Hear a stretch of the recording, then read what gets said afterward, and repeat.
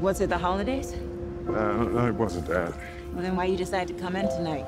Um, I'm trying to fix my mind.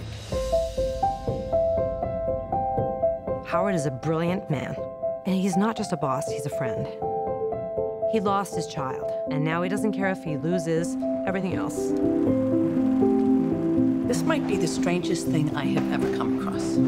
He writes letters. Who are they to? Howard doesn't write letters to people. He writes to things. Time. Love. Death. Kids write letters to Santa Claus. It doesn't mean they're crazy. No, this is therapeutic. You're gonna think I'm crazy, but I'm having conversations. Death came first. She met me in the dog park. Charmed, I'm sure. So death is a her. Turns out Death is an elderly white woman. Remember me? I'm Time. You wrote me because you need me. Howard? Ask her. Go ahead. Ask her if she can see me. He was sitting right here. And he just appeared, right? I'm love. And I'm the fabric of life. Something's starting to happen to you. Howard?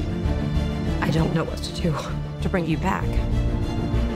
What if love, death, and time are trying to help you? You need to talk to them, Howard. Challenge them. Just engage. Love is the reason for everything. I felt you every day when she laughed. And you broke my heart. I was there in her laugh, but I'm also here now in your pain. He's reaching out to the cosmos for answers. Just be sure to notice the collateral beauty. It's the profound connection to everything. He accepts that. Maybe he gets to find his life again.